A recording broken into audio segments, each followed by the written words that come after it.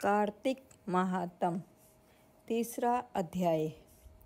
कार्तिक मास के लिए श्रेष्ठ कार्यों, तुलसी की महिमा और पूजा आराधना के बारे में इतना सुनने के पश्चात नारद जी ने ब्रह्मा जी से प्रार्थना की, हे जगत पिता, अब आप मुझे कृपा करके उस उत्तम देवता के बारे में बताएँ, जिसका पूजन इस माह में करना चाहिए।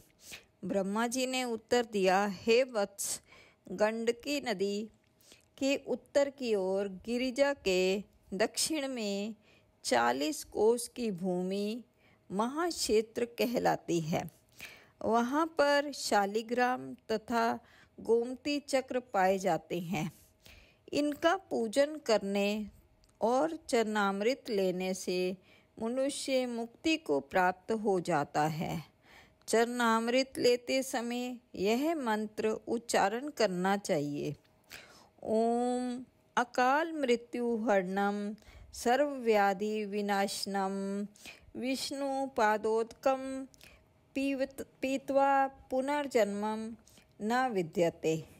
जिस गोमती में एक चक्र हो, उसको सुदर्शन, जिसमें दो चक्र हों, वह नारायण जिसमें तीन चक्र हों, उसे अच्युत, जिसमें चार चक्र हों, उसे जनार्दन, जिसमें पाँच चक्र हों, उसे वासुदेव, छह चक्र वाले को प्रद्युम्न, सात चक्र वाले को संकर्षण, आठ चक्र वाले को नलकूबर तथा नव चक्र वाले को व्यू और दस चक्र वाले को दश अवतार कहते हैं। इनके दर्शन मात्र से मनुष्य मोक्ष को प्राप्त हो जाता है। जो भगवान के सम्मुख वीणा या वंशी बजाता है अथवा गायन करता है, वह स्वयं भगवान को प्राप्त होता है। जो भगवान के आगे मृदंग बजाता है भगवान उसे सर्वप्रिय समझते हैं। जो भगवान के सम्मुख नित्य श्रद्धा से धूप जलाता है वह कभी नरकगामी नहीं होता।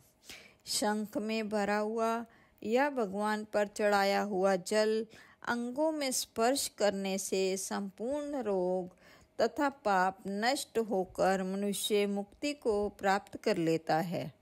पूजन चाहे मंत्रों द्वारा, पूरे विधि विधान से किया जाए अथवा सामान्य रूप से, परंतु श्रद्धा सच्ची होनी चाहिए। पूर्ण श्रद्धा और निष्ठा से किया गया स्नान, ध्यान, पूजा, पाठ और व्रत आदि ही फलदायी होता है।